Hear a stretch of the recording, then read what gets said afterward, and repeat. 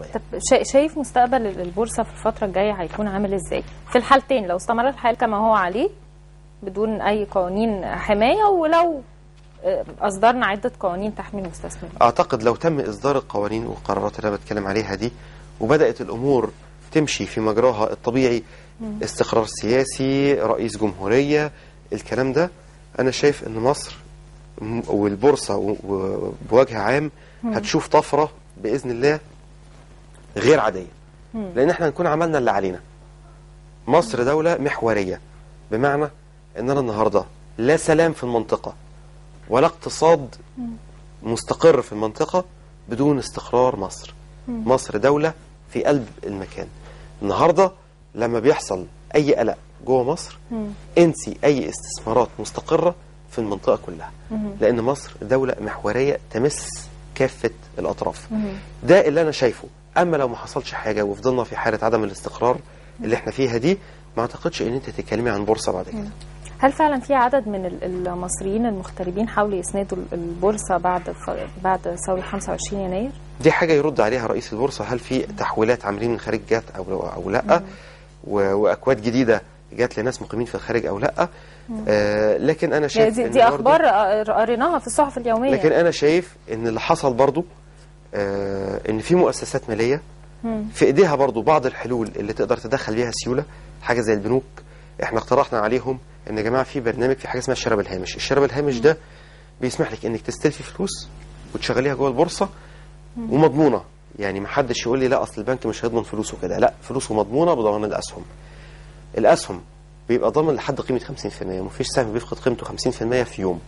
لأن قرارات البورصة وقوانين المنظمة بتمنع إن مفيش حاجة اسمها سهم يفقد 50% من قيمته في يوم واحد. اذا النهارده هذه المؤسسات رفع إيدها.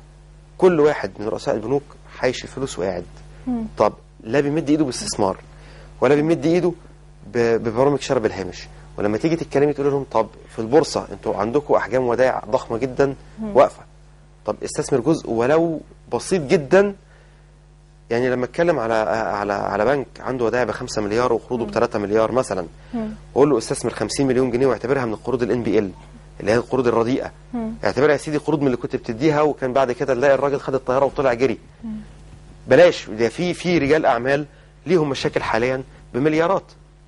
ما لو البنوك كانت فعلا بقى واخدة ضمانات حقيقية على الناس دي ما كانتش المشاكل دي ظهرت. والله أعلم لا يعني. بس ده, ده برضه لا يمنع إن دي مغامرة بالنسبة له في الفترة الجاية هو بيغامر بالفلوس دي. بيغامر الفلوس بكام؟ ونسبه قد هو إيه؟ إحنا بنتكلم على البنوك المصرية ولا البنوك الأجنبية اللي موجودة؟ حكومية. بتكلم على على البنوك الحكومية على الأقل. والله البنوك الحكومية لو خدت المبادرة على الأقل بجزء بالشراء بالهامش كشراء هامشي مضمون هو كده ما, ما يعني ما أخلش بحاجة.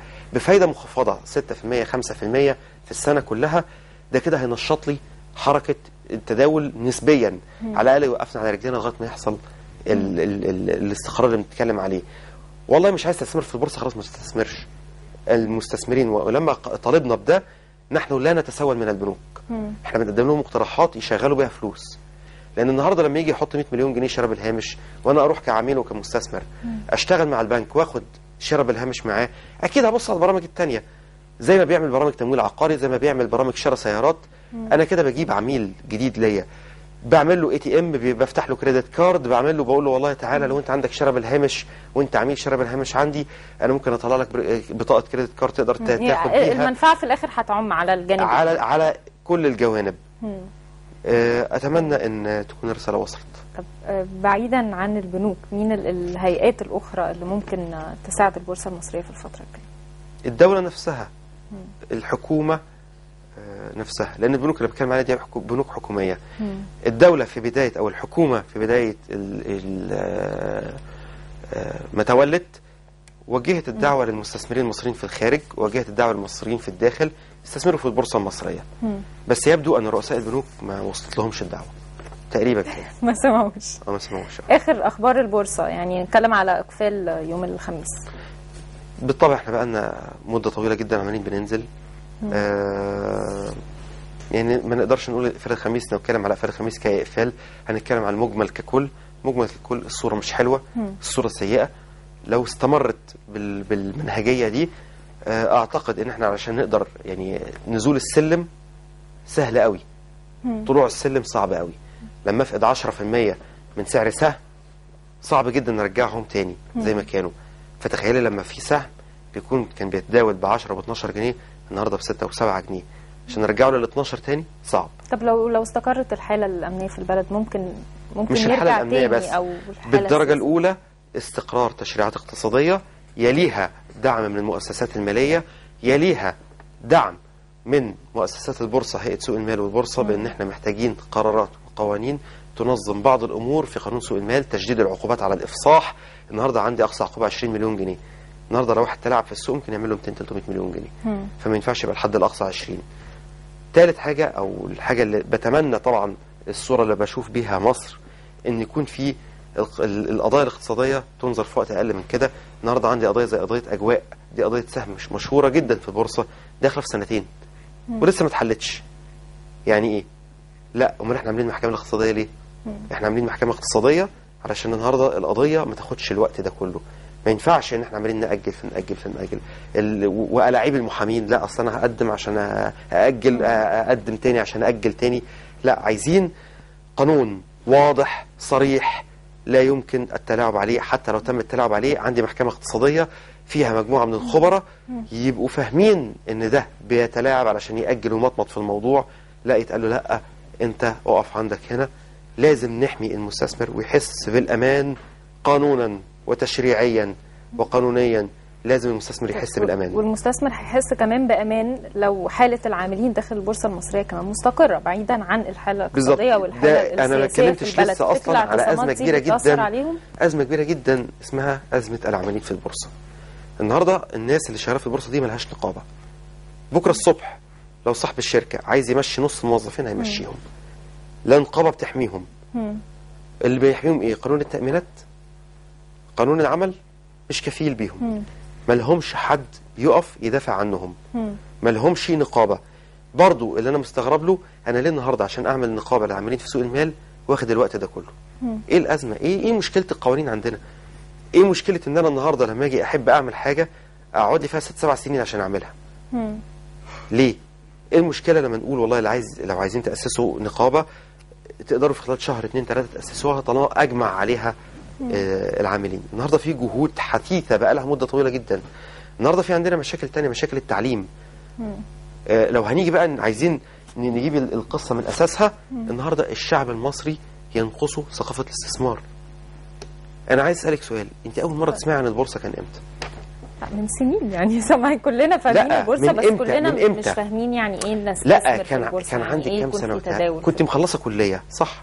أول ما بدأت يعني تسمعي عن يمكن البورصة قبل شوية بس حسب دراستي يعني النهاردة هاتي خريج جامعة مم. يعرف حاجة عن البورصة باستثناء خريج كلية تجارة اللي يعرف القشور مم. هاتيلي خريج كلية يعرف حاجة عن البورصة طب يعني بعد إذنك ده دور الدولة ولا دور البورصة؟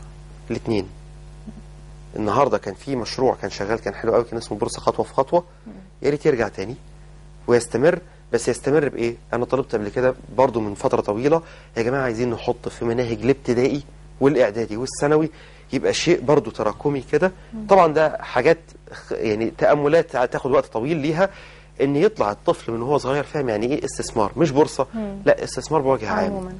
عايزين نثقف طيب. الشعب من أول ما بيخش الحضانة لغاية ما يطلع عشان يبقى فاهم يعني إيه ادخار ما يطلعش الشعب منفق. افتتاح الجلسة النهارده متتوقع له إيه؟ هبوط. هبوط. هتستمر زي زي الإقفال. هتستمر حالة الهبوط. هبوط ما فيش جديد. للأسف. طب يعني إحنا نأمل طبعا ان يكون في أي تغيير النهارده أنا- بس أنا واضح كنت ان أتمنى- في شوية تشاؤم. هو مش تشاؤم. دي صورة على أرض الواقع وللأسف إحنا رقنا نشف وإحنا قاعدين بنطالب بتعديلات القوانين دي وفي بيان طلع من شعبة الأوراق المالية في الغرفة التجارية.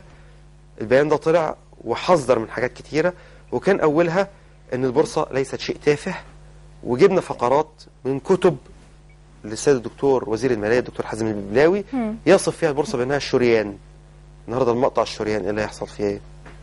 آه وجبنا فيها فقرات أو كان متجاب فيها اللي كاتب البيان حذر فيها إن النهارده أسعار الشركات المصرية لو انهارت أكتر من كده ولو تراجعت أكتر من كده في بلاش نقول نظرية المؤامرة ولكن في بعض الناس اللي ليهم أهداف جوه مصر من ممكن يستحوذوا على شركات مهمة جدا جوه مصر تملك أراضي في في مواقع مهمة جدا جوه مصر. ما يهمناش أو ما يعني يهمنا إنها ما تقعش في إيدين حد. طبعا مش مش مش كويس. أستاذ حسام أبو شامله خبير الأوراق المالية والتداول بنشكرك جدا نورتنا شكرا. نهارك سعيد. نهارك سعيد.